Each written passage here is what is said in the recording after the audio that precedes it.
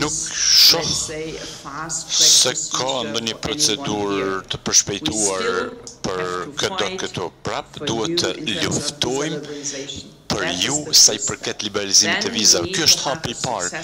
E pastaj duhet të kemi dialog të suksesshëm. Ky është hapi i radhës. E pastaj. Mund të fillojmë atë rrugën normale të integrimit evropian.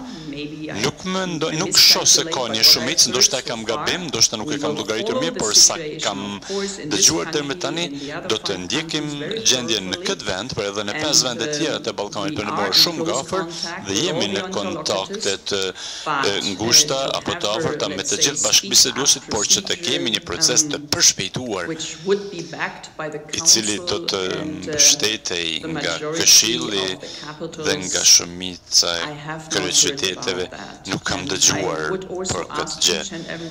Do i kërkoj secilit këtu në Kosovë dhe në vendet tjera të Ballkanit Perëndimor që të mos rrisin pritjet e popullatës së vet. sepse në fund do jemi ne ata që duhet ta qartësojmë këtë gjë